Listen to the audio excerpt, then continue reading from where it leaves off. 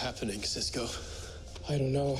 I mean, why can't I open a portal? Wasn't I running fast enough? Well, I'm not sure. We don't have the telemetry for this suit. Okay, well, I mean, we gotta figure this out. I have to get back. We're gonna get you back home, not to worry. But good news, good news, you can always go back to the exact time in which you left, no matter how long you stay here.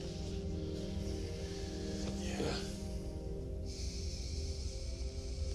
Maybe it was Scudder or Dillon. I, they seemed a little different than the last time I fought them. I mean, look around you. Everything's different. Except you. Maybe this means we can get the team back together? Why haven't you done that? I've tried. Believe me, I've tried. But you see, Caitlin's not the only thing Killer Frost took.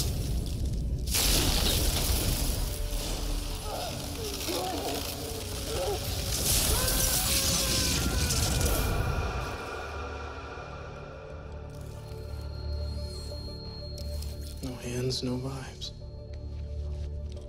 Without my powers, without you.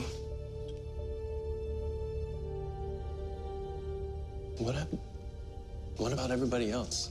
Julian, Wally, Joe.